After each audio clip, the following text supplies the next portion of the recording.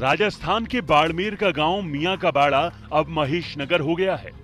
अजमेर ज़िले के किशनगढ़ के सलीमाबाद का नाम अब श्री निम्बार्क तीर्थ कर दिया गया है। जी हाँ, राजस्थान के बदलते नाम वाले गाँव की फहरिस्त अभी और लंबी है, क्योंकि वसुंधरा राज में पूरे पंद्रह गाँवों का पुराना नाम गुम होने वाला है। राजस्थान के सरहदी ज़िले बाड़मेर में नया बोर्ड लगा है महेश नगर जी हाँ कुछ दिन पहले तक यहाँ मियाँ का बाड़ा नाम का बोर्ड लगा होता था, जो बदलकर महेश नगर हो गया है। स्थानीय लोगों की मांग के बाद राजस्थान सरकार की राजस्व विभाग की सिफारिश पर केंद्र सरकार ने करीब पंद्रह गाँव के नाम बदलने को मंजूरी दे दी है, जिसमें मियाँ कबाड़ा भी शामिल है। गाँव के लोगों का कहना है कि मियाँ कबाड़ा नाम से मुस्लिम बहुल गाँव का एहसास होता था, जबकि गाँव में तीन घर ही मुस्लिम हैं, इसलिए लोगों ने इसे महेश नगर करने की मांग की जो मुगल काल से पहले इस गाँव का नाम था।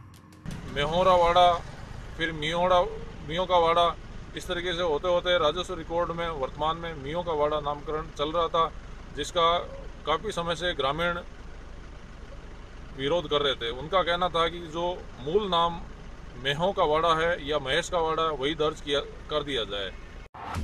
मियाँ का बाड़ा की तर्ज पर अजमेर ज़िले के किशनगढ़ की सलीमाबाद का नाम बदलकर श्री निम्बार्क तीर्थ कर दिया गया है।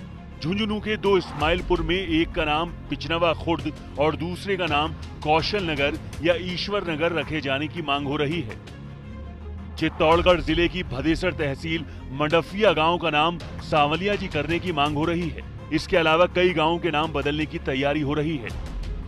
नया नामकरण बीजेपी की वसुंधरा सरकार में हो रहा है। लिहाजा सियासत भला पीछे कैसे रहेगी?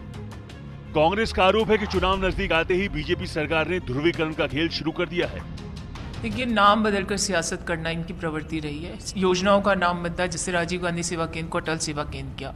अभी जो शहरों के या गाँव के नाम बदलने की प्रक्रिया शुरू कर, उसका मूल कारण ये कि ये जो कोर इश्यूज़ हैं, ध्यान डाइवर्ट करना चाहते हैं। जनता ने इनको विकास सुनिश्चित करने के जनादेश दिया था, ना कि ये नामकरण बदल करके और ओछी सियासत करने के लिए।